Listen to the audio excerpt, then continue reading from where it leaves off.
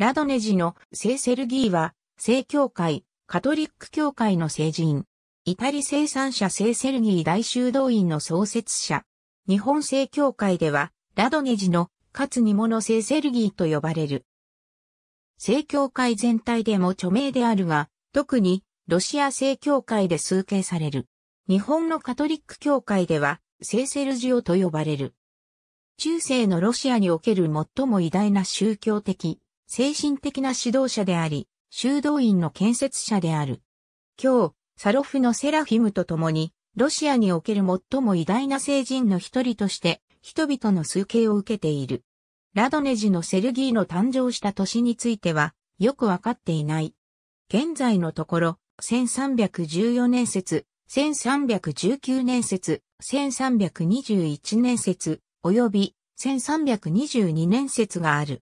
ロストフのボヤールの家系に生まれたとされ、彼の両親キリルとマリアの頃には貧しくなり、ラドネジに、ステファン、バルフォロメイ、ピョートルの三人の子を連れて移った。両親の死後、バルフォロメイはモスクワの近郊、コトクボへ行き、そこで長兄ステファンは仕官した。バルフォロメイはステファンに対して、より神に近づける平安の地を見つけるよう長兄を説得し、マコベッツ丘の深い森に、イタリ生産者を記念する小さな教会堂を建設した。これがイタリ生産者聖セルギー大修道院の起源である。しばらくして、長兄ステファンはモスクワの修道院に移った。バルフォロメイはセルギーに改名し、修道士として誓いを立てて森に分け入り忍者として一年以上孤独な生活を過ごした。間もなくすぐに他の修道士たちがセルギーのもとに集い教会を建設し始めた。しばらくして修道士たちはセルギーにシフトして自分たちを導くよう促した。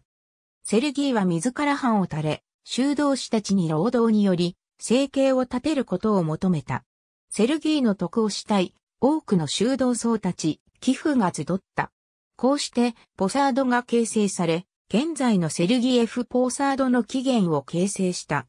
若きバルフォロメイの聖なる後継セルギーの総員は、コンスタンティヌーポリ総主教庁にも伝わり、総主教フィロテウスは、修道院の特許状を与えた。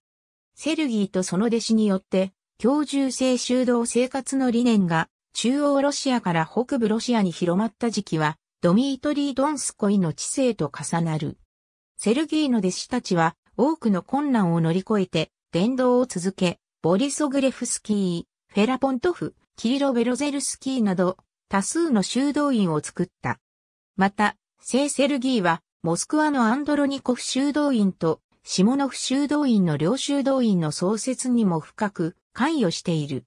総じて、セルギーの弟子たちは、およそ400の修道院を設立し、セルギーの修道に関する考えを拡大することに寄与した。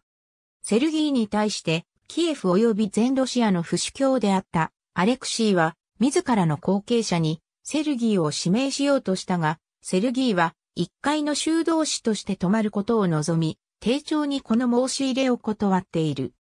セルギーはあくまで鉄頭鉄尾禁欲的な生活を送り、国政への関与などは考えられなかったが、ドミートリー・ドンスコイを支持し、彼が1380年、クリコボの戦いで初めて、モンゴルを撃破したことを賛美している。セルギーは、いわゆるタタールの首輝きに対して、ロシアの諸公国が争いを止めて、ドミートリーの下、結集することを訴えた。1392年9月25日に死去した。1452年にロシア正教会により劣勢された。1422年、彼の遺体は普及体としてイタリ生産者聖セルギー修道院に移された。教会は9月25日を記念して、この日を聖教会における記憶日と定めた。現在も彼の遺体はイタリ生産者聖セルギー修道院のイタリ生産者大聖堂に収められており、多くの信者が数形に訪れる。普段はガラスで覆った棺に収められており、早朝の御蓋が挙げられて、直に彼の普及体に触れることができる。ラウドティ聖人カレンダー。聖パウロ女子修道会。2015年9月30日閲覧。ありがとうございます。